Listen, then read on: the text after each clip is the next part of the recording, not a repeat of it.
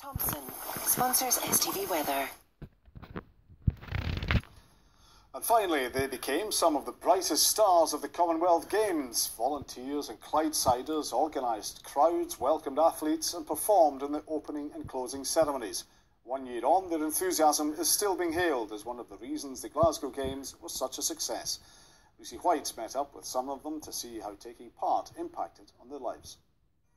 This is Elizabeth. One year ago at Glasgow Airport, she became the self appointed unofficial hugger of the Commonwealth Games. Lovely to see you.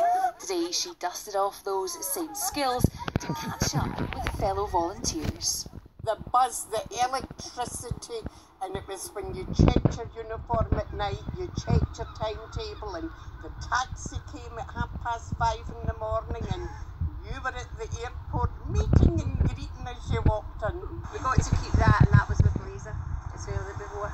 And that was from being a flag bearer, is a that flag right? bearer at her. You were saying to me beforehand that this is not something that you would normally do. You wouldn't usually put yourself forward for something like this. No, you're not, not at all. I just decided out of the blue just to audition and I was successful and then it escalated from the opening to the closing to George Square. Um, I just done so much. So, how has it actually changed your life now?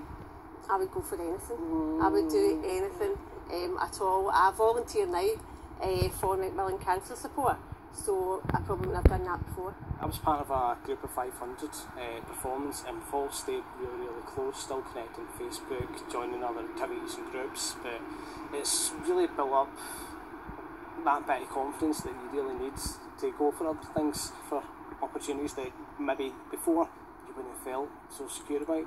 Volunteering has had a life changing impact for Julie. She has cerebral palsy and has been inspired by the accessibility of the Games to keep championing parasports in Scotland.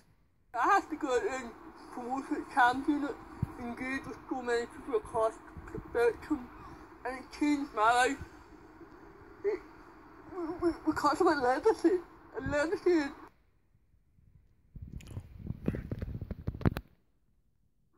happen to you.